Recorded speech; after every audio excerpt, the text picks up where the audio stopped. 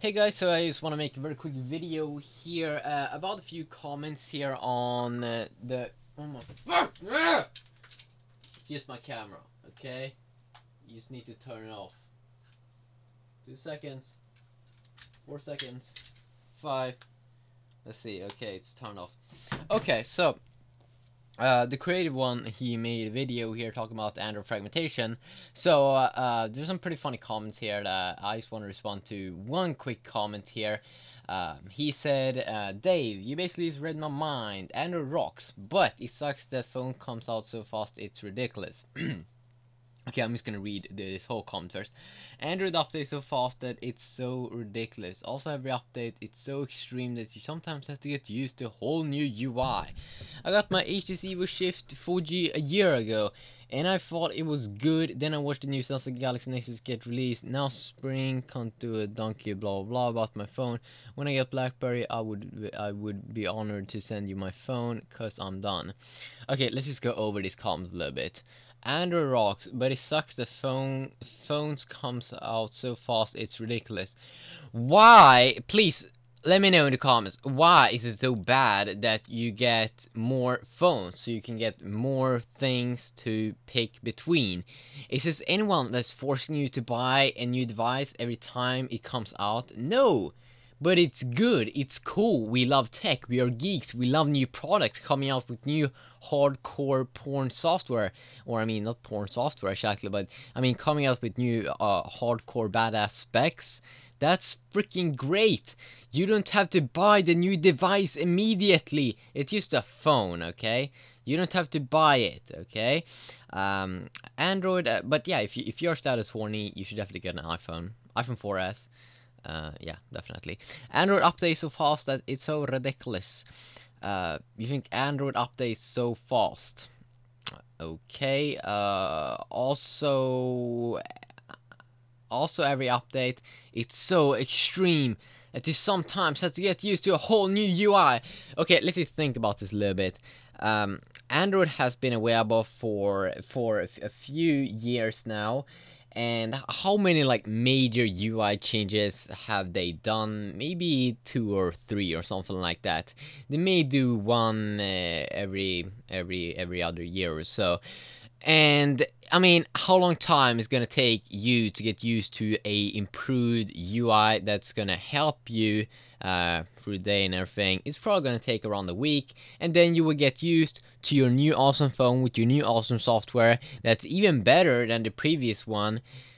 I mean, the, the updates in the UI has been so uh, amazing. I mean, if you, you, just look at Android 2.3, uh, bumping it up to Android 4.0, it's so much better in 4.0.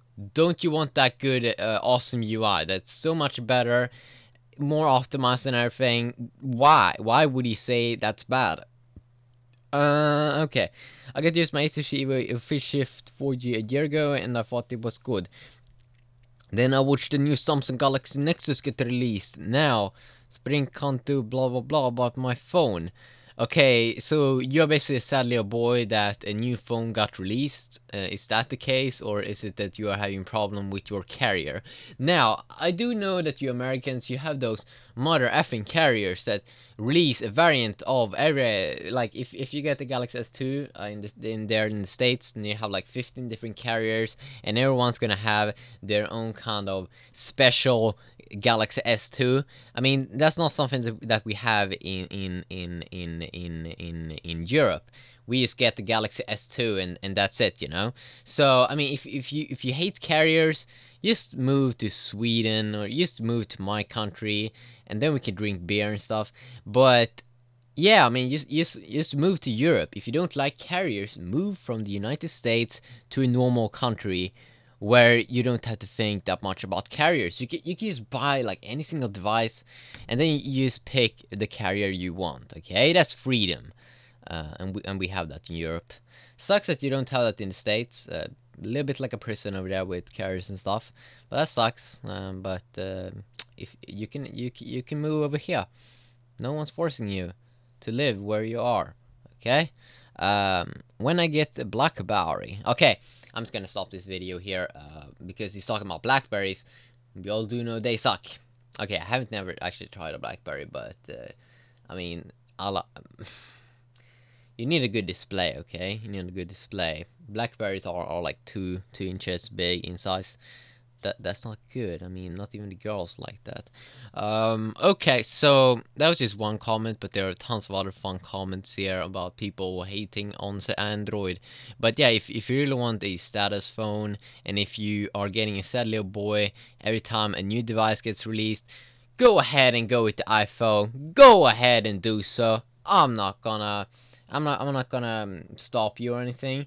But if you want an awesome Android experience, just go ahead and subscribe to my channel on YouTube, and I'm gonna tell you what phone you should buy right effing now.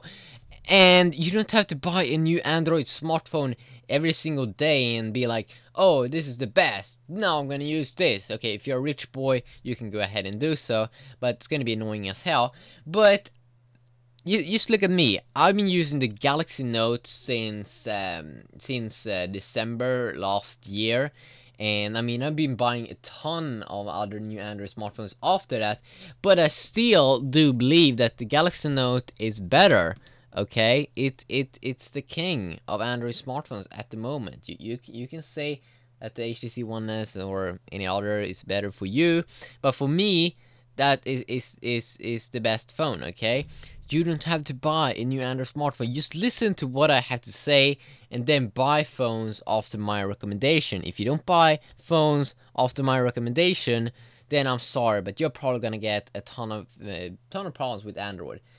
I'm more into Android and stuff, so I I could I could definitely guide you. Okay and it's it, Android is only for hardcore geeks and for cool people, for real cool people, not rich boys people. Rich boys they buy the iPhone 4S for daddy's money. Okay, we cool boys we buy an Android smartphone because they have bigger displays, you can run widgets, you can basically change everything about the UI without having to do some jailbreaking or something like that. And if you really want to change the like the gender of your Android smartphone, you can just go ahead and root it, and you can basically blow it up if you want. There's probably an app like that that will uh, power power overvolt it or something like that uh, and uh, destroy the circuits in the phone or something like that because rooting that's even more powerful than jailbreaking because that means that you get complete access of the phone and i think you can do anything and uh, yeah, you, you, you can do anything. So a very, very quick video here responding to this comment. There are a ton of other fun comments here, but I'm not going to respond to all of them because that would take a hell of a long time because now I've been talking too effing much about one single comment here that is not even that effing long and it's uh, it's it's it's around 500 comments on this page and that's too effing much for me. So yeah, and uh, one final note here Android 2.3 still kills iOS, so you just gotta suck that up. Bye bye.